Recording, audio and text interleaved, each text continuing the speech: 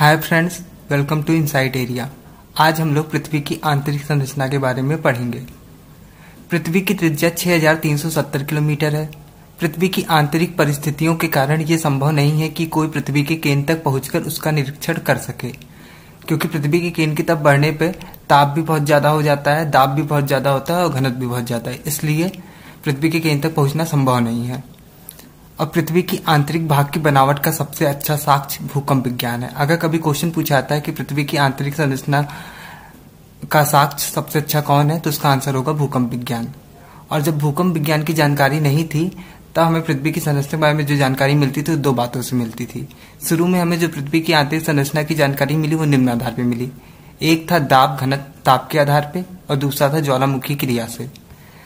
और एक बात जान लीजिए, दाब तो बढ़ता है तो घनत्व भी बढ़ता है और ताप भी बढ़ता है। अब पृथ्वी की आंतरिक संरचना को समझते हैं, जब भूकंप की जानकारी नहीं थी तो। पृथ्वी के ऊपरी भाग का घनत्व कितना होता है? तीन दशमलव ज़ीरो ग्राम प्रति घन सेंटीमीटर। और पृथ्वी के केंद्र का घनत्व कितना होता है? ग्यारह दशमलव ज़ीरो ग्राम प्रति घन सेंटीमीटर। और पूरी पृथ्वी का घनत्व कितना होता है? पाँच दशमलव ज़ीरो ग्राम प्रति घन सेंटीमीटर।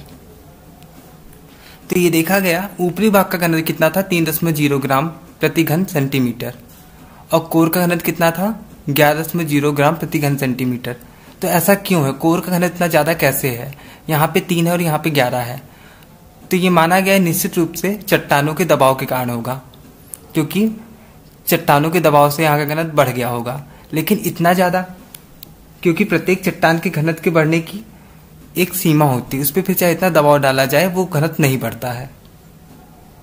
तो ये माना गया निश्चित रूप से कोर भारी पदार्थों से मिलकर बना होगा। और उल्का पिंडों के अध्ययन से भी पता चला कि कोर भारी पदार्थों से मिलकर बना है। हालाँकि जो उल्का पिंड का अध्ययन किया था उल्का पिंड हमें पृथ्वी से नहीं प्राप्त होते हैं, पृथ्वी का भाग नहीं होते, लेकिन उनकी संरचना काफ़ी कुछ पृथ्वी से मिलती है, इसलिए उसका भी अध्ययन किया जाता है, पृथ्वी की आंतरिक संरचना को जानने के लिए। तो माना गया कि कोर भारी पदार्थों से मिलकर बना है। और फिर ज्वालामुखी क्रिया से पता लगा कि पृथ्वी की कोई एक भाग लिक्विड अवस्था में है, क्योंकि ज्वालामुखी क्रिया के दौरान लावा निकलता है लावा लिक्विड अवस्था में होता है। लेकिन इतने ज़्यादा दाब पे कोई भी चीज़ कैसे लिक्विड अवस्था में हो सकती है? इसलिए एक विचार सत्य होता था तो दूसरा विचार असत्य हो जाता था। मतलब कोई एक निश्चित निष्कर्ष नहीं निकल पाया पृथ्वी की आंतरिक संरचना के बारे में, भूकंप विज्ञान से पहले।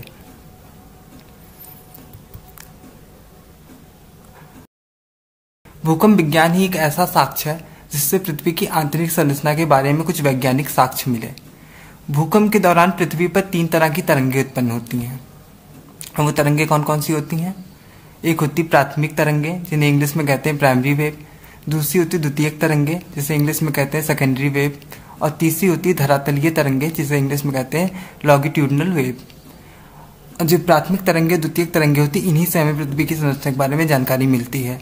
ये धरातलीय तरंगे पृथ्वी के अंदर नहीं जाती, ये पृथ्वी की सतह पर ही रहती हैं। और इस प्राथमिक तरंगे और द्वितीय तरंगों की विशेषता होती है, जो प्राथमिक तरंगे होती हैं, वो ठोस और तरल दोनों में चल सकती हैं, और जो द्वितीय तरंगे होती हैं, वो केवल ठोस में चल सकती हैं। और ये जो तरंगे होती हैं, प्राथमिक तरंगे और द्वितीय तरंगे, ये जब घनत समान होता है तो सीधी चलती हैं। लेकिन जब घनत में अंतर आता है तो ये अपने मार्ग में विचलन करती हैं। इतनी विशेषता होती है प्राथमिक और द्वितीय तरंगों की। अब देखते हैं यहाँ पे। जब पृथ्वी से पी तरंगे डाली जाती हैं, यहाँ से गुजरती हैं तो वो 30 किलोमीटर तो सीधी चलती हैं, उसके बाद वो कुछ सतह की ओर मुड़ जाती हैं और कुछ विचलन के बाद भी कोर को पार करते हुए बाहर निकल जाती हैं। मतलब पी तरंगे ठोस और तरल दोनों में चल सकती हैं, इसलिए वो कुछ तरंगे बाहर भी निकल जाती है। विचलन के बावजूद भी वो बाहर की ओर आ जाती हैं। लेकिन जब एस तरंगे जाती हैं तो केवल 30 किलोमीटर तक जाती हैं, उसके बाद ये सतह की ओर मुड़ जाती हैं। उसके बाद ये पृथ्वी के कोर में मतलब आंतरिक भाग में प्रवेश नहीं कर पाती हैं। और जहाँ पे नहीं प्रवेश कर पाती, जो ये जोन मिलता है, ये एरिया जो मिलता है, उसको बोलते हैं एस वेव सैडो जोन और पी वेव में दो मिलते हैं, एक यहाँ पे, एक यहाँ पे। तो इसको बोलते हैं पी वेव सैडो जोन अब आगे देखते हैं। पी और एस तरंगों से पृथ्वी की आंतरिक संरचना के बारे में जानकारी मिलती है। जहाँ घनत्व समान होता है, ये तरंगे वहाँ सीधी चलती हैं। पी और एस तरंगों की गति व भ्रमण गति के आधार पर पृथ्वी की आंतरिक संरचना के बारे में कुछ परिणाम मिले। भूकंप तरंगे पृथ्वी की सतह पर जहाँ टकराती उसे भूकंप का केंद्र कहते हैं। जी पी और एस तरंगे जहाँ पे भी पृथ्वी की सतह पर टकराती हैं उसको कहते हैं भूकंप का केंद्र। भूकंप तरंगों के पृथ्वी सतह पर अंकन से पता चल, चला कि पृथ्वी के अंदर ये तरंगे वक्राकार चलती हैं जिससे पता चलता है कि पृथ्वी के अंदर अलग अलग घनत्व वाली परतें हैं।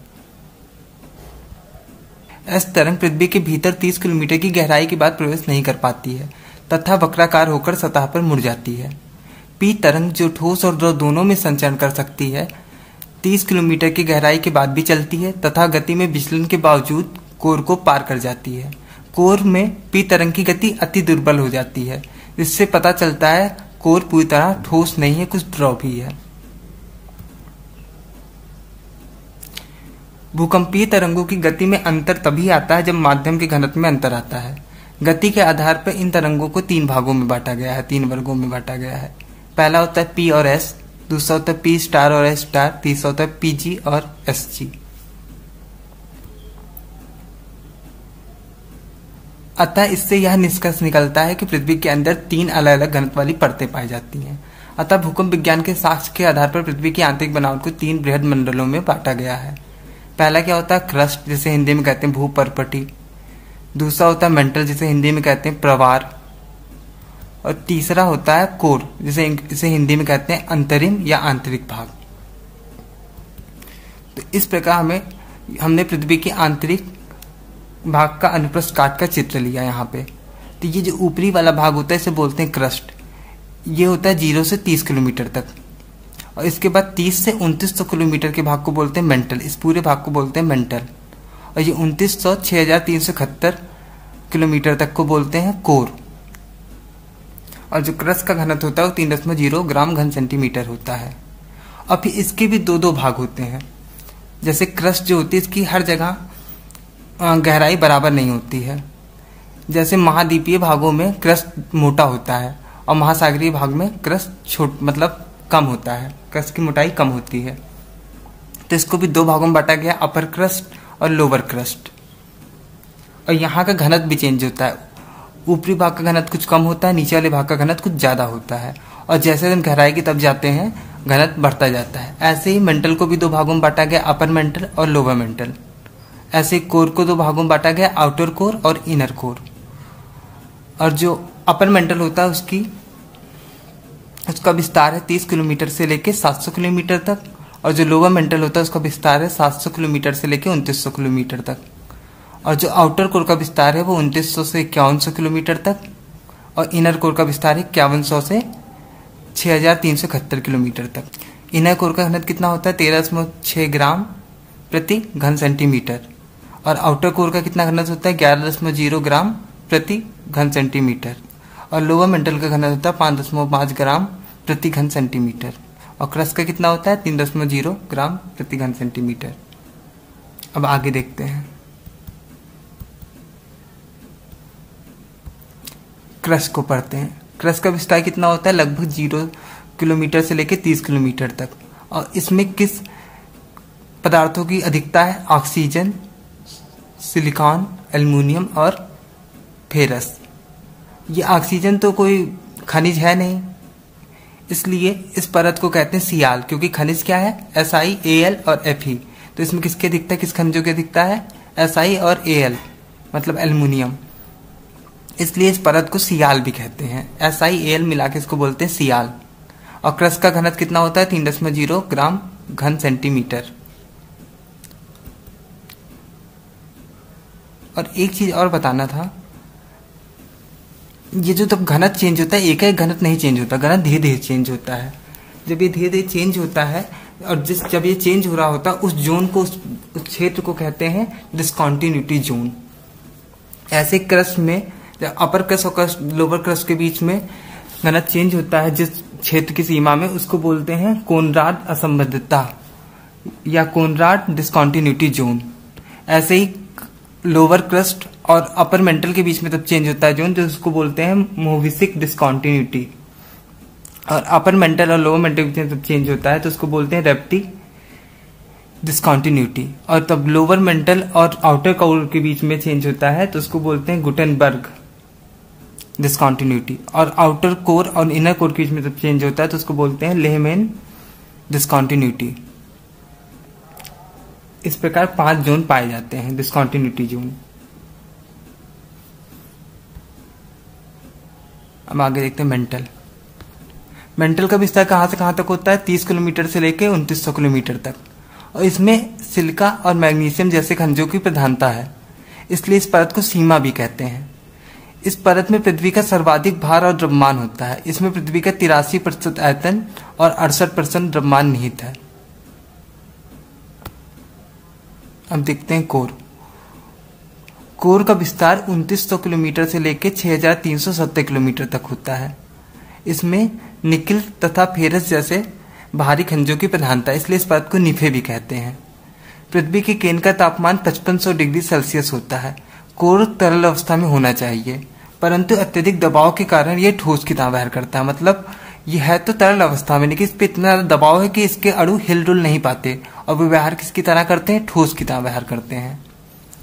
अब डिसकॉन्टिन्यूटी सब देख लेते हैं। कोनराड असमता ऊपरी क्रस्ट और निचले क्रस्ट के बीच में पाई जाती है।